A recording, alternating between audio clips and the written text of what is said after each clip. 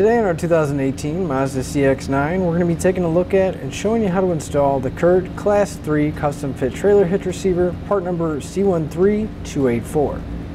So here's what our hitch is going to look like once we have it installed. All we're really going to see is that receiver tube sticking out because the cross tube is going to be tucked behind the bumper nicely. Our hitch is going to offer us a 2 inch by 2 inch receiver tube opening, which is going to be great for bike racks, cargo carriers, and lots of other accessories. Now the way we're going to mount all of those accessories is going to be through the hitch pin hole here on the side. Now it is going to accept a standard 5 ace pin and clip. While these aren't included in the kit, you can pick them up here at eTrailer.com using part number PC3. Now the safety chain connection points are going to be a plate style welded to the bottom and we're not going to have too much trouble getting most size hooks on or off. Just keep in mind if you are using some extremely small hooks coming from the side may be a little bit difficult because you do have slightly larger flange there than you do on the front. And you'll notice that that hitch pin hole is slightly offset from the opening so it is going to make it easier to get those hooks in place and not have to worry about the hitch pin or a locking device interfering with it. Our hitch is going to have a 600 pound tongue weight, which to be the maximum downward force at the receiver tube, along with a 4,000 pound gross trailer rate rating. Now that's going to be the maximum amount it can pull, including the trailer and everything we have loaded on it. Now our hitch is also rated for use with weight distribution systems, and that's going to be a separate component that's going to be mounted on your trailer. That's going to keep the tongue weight at the same amount, but it's going to bump up the towing capacity up to 5,000 pounds. Now with all those numbers in mind, you always want to double check your CX-9's owner's manual and never exceed the manufacturer's recommended weight. I'd like to give you a few measurements and these are going to help you out when deciding for accessories for your new hitch such as a ball mount, a bike rack, or even a cargo carrier. From the center of the hitch pin hole to the outermost edge of the bumper is going to be right about 5 inches. That measurement is going to come in handy when you're looking at folding accessories to make sure you have enough clearance so that it doesn't come in contact with the rear bumper. From the ground to the inside top edge of the receiver tube opening is going to be right about 14 and 1 quarter inches. Now the measurement is going to come in handy when looking at ball mounts to make sure you get the appropriate rise or drop to match up to your trailer. So now that we've seen what our hitch looks like and gone over some of the features, let's show you how to get it installed. To begin our installation, we're going to want to come to the back of our CX-9. At the very bottom of the bumper here, you'll notice that you're going to have two little push pins in place.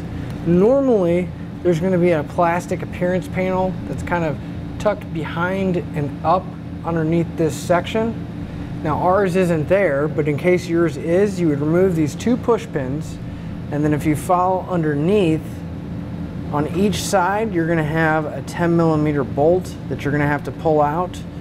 And this little notch here, you would reach up and push it on the tab and then the whole panel would come down.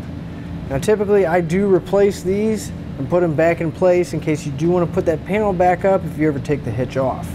But once you have it removed, you're going to go ahead and leave it off because we're not going to be reinstalling it. And we're going to have to lower our exhaust down, but before we do, you want to make sure you get some kind of strap to support it. Just find a secure spot to hook your strap onto and then if we come towards the back by the tailpipe, we'll notice that we're going to have one hanger towards the center of our vehicle at the very back and another one right behind on the outside of the muffler. Now we're going to have two of these and we're also going to have those two in the same spot on the other side.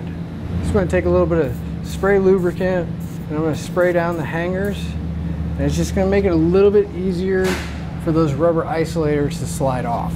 You just take a pry bar. And the main goal here is to get the rubber isolator to slide off that metal post. You may have to get a little creative on how you're prying against it, but typically if you use the hanger to pry against it, it should slide off pretty easily. So we'll repeat that for the other remaining hangers.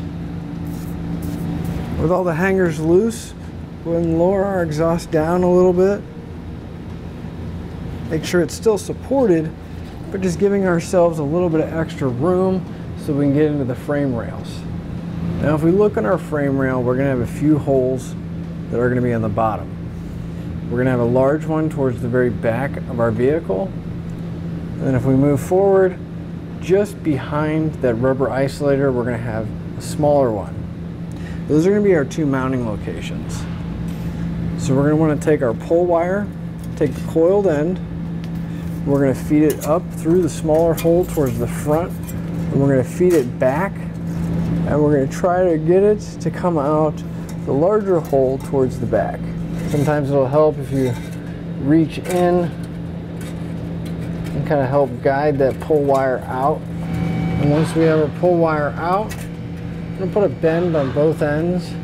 That way I don't have to worry about it falling all the way through or the tail end getting pushed up into the frame. We're gonna take a square hole spacer block. We're gonna feed it over the coiled end of our wire. Then we can take one of our half inch carriage bolts. We're gonna thread it onto the end of the wire. Then one piece at a time, we're gonna feed our block and then our carriage bolt into the frame. And we'll pull on our pull wire until the bolt drops through the block and down through the frame. For our rear mounting hole, it's gonna be a little bit different. We're still gonna take our pull wire, except this time we're gonna slide our square hole spacer over the top and then thread the bolt on. Then we're gonna feed our bolt in first, followed by the block. And then we'll pull it back down through so that bolt engages it coming through the frame. And we'll repeat that for the other side. With an extra set of hands, we're gonna lift our hitch into place. Just wanna make sure you put your pull wires through the corresponding holes going from the top of the hitch going down. You remove the pull wire, then we're gonna take a half inch flange nut and we're gonna get at least one on each side so the hitch will hold itself up. Just wanna make sure you secure the rest of your hardware down, getting it at least hand tight. I'm gonna come back with a three quarter inch socket and I'm gonna snug up all my hardware. I'm going to come back with that same 3 quarter inch socket and a torque wrench and I'm going to torque all my hardware down to the specified amount in the instructions.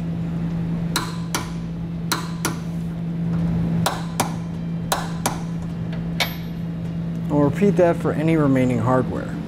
So now we can get ready to put our exhaust back up, but to help us out a little bit, I'm going to spray a little bit more of that spray lubricant on the hangers and on the isolator. You're just going to want to lift up the exhaust kind of push the rubber isolator over a little bit, bring it up, and then slide it back in place.